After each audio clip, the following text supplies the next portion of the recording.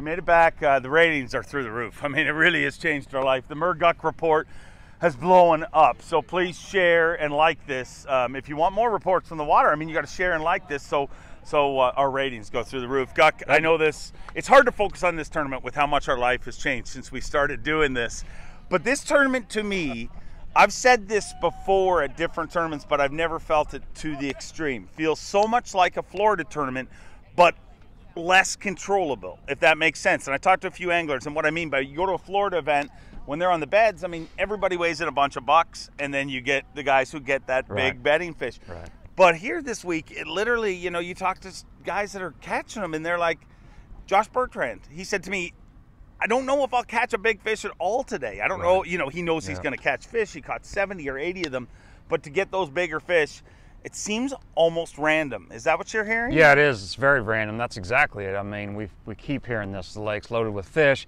Casey Ashley said something interesting this morning. Casey said, he goes, I, I think the big ones live right there with the little ones. And he said, sometimes I think the little guys just steal it from the big ones. He said, but it's they don't school by size like smallmouth will sometimes or whatever. It's just full of fish, and you never know where that six pounder is going to be living with a bunch of 13 inchers.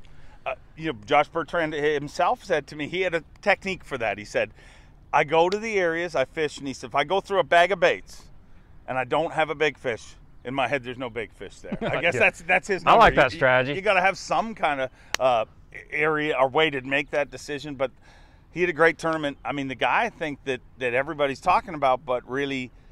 We'll see what happens today. Cliff Pace. I mean, he started the day with a 10-5. Like, Yeah. might have won a Toyota Tundra within the first five minutes of the event. right. But if you take that 10-5 out of his bag, he's nowhere near the leaderboard. Yeah, I I agree. And uh, the big thing I think, Dave, is there are no huge surprises yesterday. You know, my buddy Bo back home that I fish with all the time said, "Dude, who should I put on my fantasy team?" And I said, not to sound like a genius, because I'm not. I said Josh Bertrand because he's used to lakes that look and fish like this.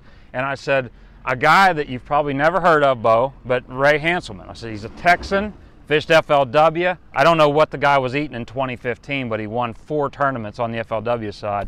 But All in the same division. Like, think about. I don't know if it's ever been done yeah, in another. It was sport. like the Ohio River and his home lake down there at Amistad. And, He won all three qualifiers, Yeah. all three qualifiers, and the championship yeah, that it's year. crazy. So I, so I said, put Hanselman on your list because he lives at Del Rio, Lake Amistad. And as soon as I pulled in here to Travis, I thought, this is like Little Amistad. It looks just like it, at least it does to me. And so no surprise. Top of the leaderboard for Ray Hanselman. Bertrand, what a great guy Josh is. I, it'd be awesome to see him win here, and he's doing great here. So, and just like the guys told us all through practice, um, it's a matter who gets the big bite. That's exactly, for the most part, how it played out yesterday. If you watch the weigh-in yesterday, one of the things we heard a lot about was guys saying, "We just need a little wind." I mean, this place, we go a lot of places and you pray for it not to blow. This place, even before the tournament started, I talked to some of the locals. You pray for it to blow here because, I mean, it can go 30 miles an hour and it's still not that Yeah. rough out there. But it, triple digits yesterday, super hot. It Uh, was a beatdown weather-wise. Yeah, it- you know, if you if you're not here, let me tell you, um, it was physically taxing. It was physically taxing to work the weigh in. It was 96, 98 degrees, whatever it was, and just no wind. Uh, you talked a lot about getting hydrated, urging these guys to drink lots of water this morning because we went from cold weather all spring to bam, 100 degrees. It felt like yesterday. as Guck said, I mean, he lost me at 98 degrees. One of my favorite bands, and I'll always look at Jessica Simpson and say, she's the reason that 98 degrees broke up. I agree. I mean, it's She's she's broke up a lot of things. yeah, yeah. Anyways, I'm distracted now. Back to you guys. Lord.